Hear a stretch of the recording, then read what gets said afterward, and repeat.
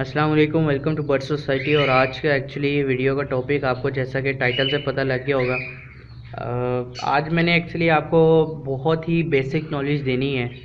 اور basic knowledge simply یہی ہے کہ آپ کو میں نے یہ بتانا ہے کہ جو اصیل پیئرز ہیں، ان کے ایکچولی جو ہم نے بریڈ لینی ہے، وہ کس عمر میں جا کے ہم نے بریڈ جو ہے، وہ ان کی لینی ہے۔ تو یہ ایکچولی بہت ہی ایک سمپل سا ٹاپک ہے۔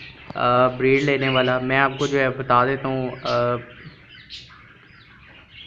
یہ جیسا کہ اگر آپ میل دیکھ رہے ہیں، ماشاءاللہ سے، میل جو ہے وہ پکے پنجوں کا مالک ہے، پکے پنجوں پہ لڑائی کرتا ہے۔ اس کی جو ہے وہ ابھی تک ڈوڈیاں آپ کہہ لیں، کیل کہہ لیں، کیلوں کی ڈوڈیاں اب آنا شروع ہوئی ہیں۔ لیکن یہ مرغا مرغا جو ہے وہ آلریڈی جو ہے ڈیڑھ سال سے اوپر کا ہے۔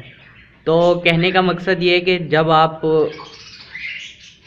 یہ دیکھیں، ماشاءاللہ سے مرغی نے ابھی انڈا دے دیا۔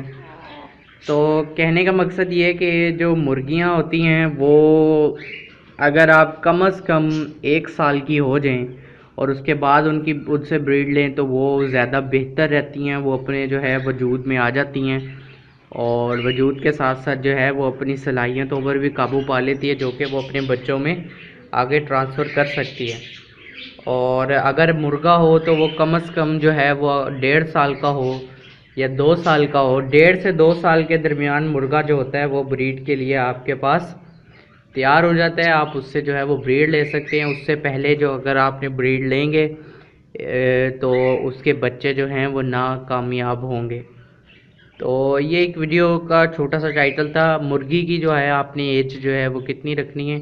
کم از کم ایک سال اور مرغے کی جو ایج ہے وہ ڈیڑھ سے دو سال کے درمیان ہونی چاہیے۔